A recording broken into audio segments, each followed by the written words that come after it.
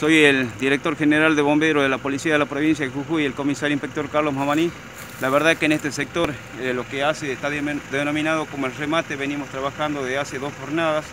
muy extensas, muy complicadas, una por el, por el, factor, este, por el factor tiempo, dado a que lograr tener la provisión de agua para la camioneta se hace difícil, porque la escasez de este líquido hace que a lo mejor no tengamos todos los elementos necesarios para la extinción. Bueno, vamos a continuar trabajando haciendo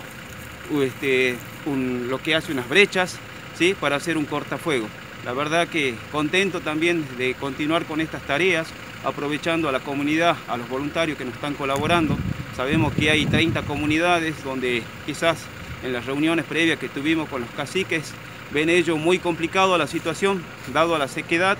dado las condiciones del terreno, a las altas temperaturas y bueno, el fuego avanza hacia sus,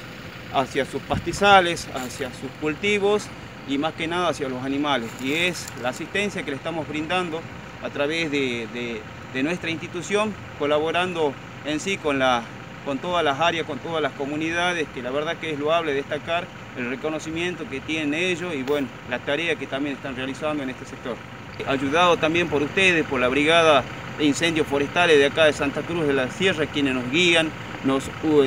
ubican los, lugares donde vamos a realizar los trabajos y en sí por los guías de acá de la zona. La verdad que son trabajos complejos,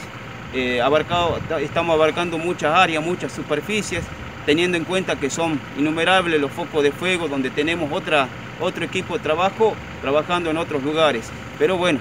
afortunadamente hasta el momento tenemos buenos resultados, estamos controlando todo lo que hace al desplazamiento de, estos, de estas lenguas de fuego que la verdad que están dañando mucho a lo que hace el impacto ambiental.